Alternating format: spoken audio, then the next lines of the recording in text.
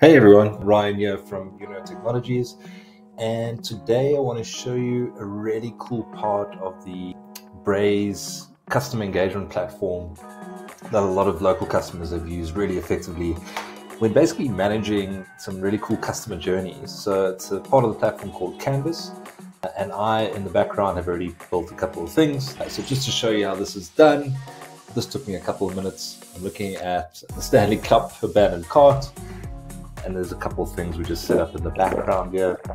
We, we want to assign a conversion event for this particular example, which is basically make a purchase within a set amount of days. So you could attribute this message to the actual purchase. There's a couple of different entry schedules. Yeah, I'm looking at an action-based schedule, where in essence I'm looking at anyone who has abandoned their cart to get a message from us and in this particular case, I'm actually just looking at iOS users. I may have done a lot of market research, and a majority of my clients are iOS users, or a lot of them have dropped off for whatever particular reason. This segment can also change to a number of different people loyalty members, email subscribers, Android users, web users, and so forth. And then there's an exit criteria here as well, where once they make a purchase, uh, they will leave the messaging sequence that we're sending them.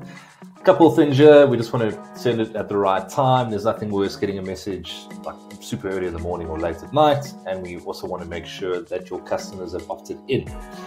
So what we've done here, this is basically where we build the messaging. Now, just to let you know, I am no developer. Um, this can be used and taught with enablement of YOUKNOW technologies to just about anyone. And here are a couple of things that enter my messaging, iOS users.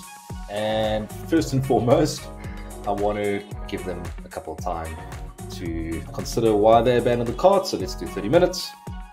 After that, the next step is to send them a message. So if I click in here, I want to send an iOS push message. And what Braze is really powerful at doing is again designing these on the fly. So like, hey, you forgot your cup, and we can go, hey, oh, I don't want to do that.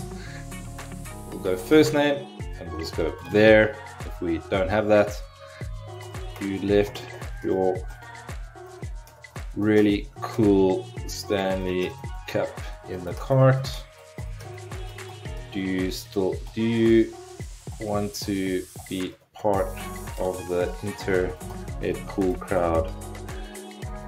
And again, please, copywriters don't persecute me for such lazy copywriting. I can then add an image, which we can load into the Braze platform as well. Click save, insert the image, all of a sudden you've got an idea of what your campaign will look like. You can also test this message before you send it out. Click done.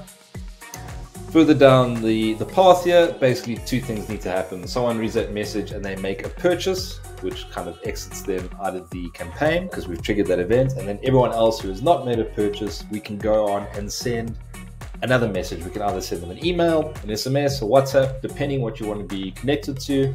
I click on email here. There's a really cool drag and drop editor. I'm not going to go through the whole process now because I prefer you to think of something a lot more creative than I did when reaching out to people buying Stanley Cups from your store. But I just wanted to highlight to you today the effectiveness of Braze Canvas and we can really build out these integral customer journeys let us know if you'd like to see it. Talk to us about engaging with your customers at the right time with the right messaging, and we'll be happy to show you